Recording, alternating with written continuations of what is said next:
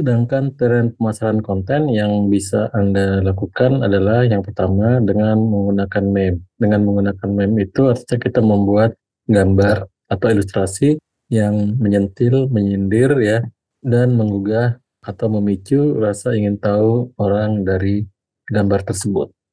Yang kedua adalah kita berbagi artikel, press release, guest posting, wawancara pakar, konten viral dan konten-konten yang lainnya ya, video, PDF, dan juga infografis ya, kuis dan yang lain-lain di media sosial. Jadi kita aktivitasnya tidak boleh dibatasi, konten apa pun yang bisa menarik minat asalkan masih sesuai dengan tujuan visi misi dan tema perusahaan, kita bisa buat.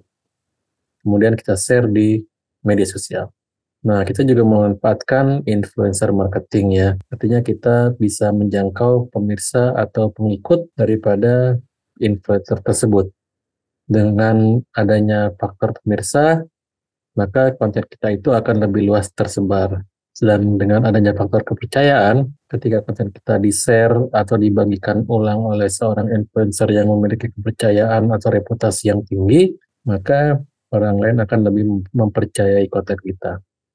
Nah, sedangkan ada juga kita dengan cara membangun kepercayaan dalam hubungan atau relasi. Dengan menggunakan piramida membangun kepercayaan. Misalnya dalam taraf hubungan yang pertama hanya melalui media sosial ya, media sosial yang umum.